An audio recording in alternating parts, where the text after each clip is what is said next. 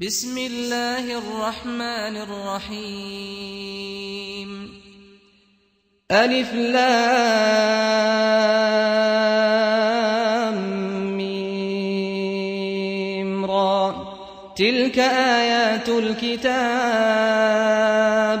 والذي أنزل إليك من ربك الحق ولكن أكثر الناس لا يؤمنون.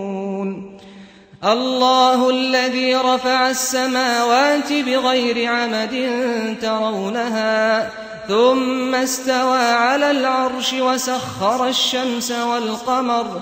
كل يجري لأجل مسمى.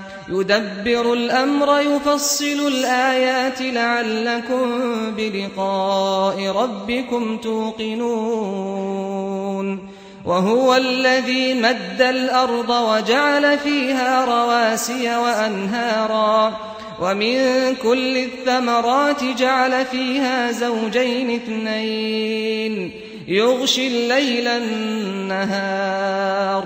إن في ذلك لآيات لقوم يتفكرون. وفي الأرض قطع متجاورات وجنات من أعناب وزرع ونخيل صنوان وغير صنوان. ونخيل صنوان وغير صنوان يسقى بماء واحد ونفضل بعضها على بعض في الأكل.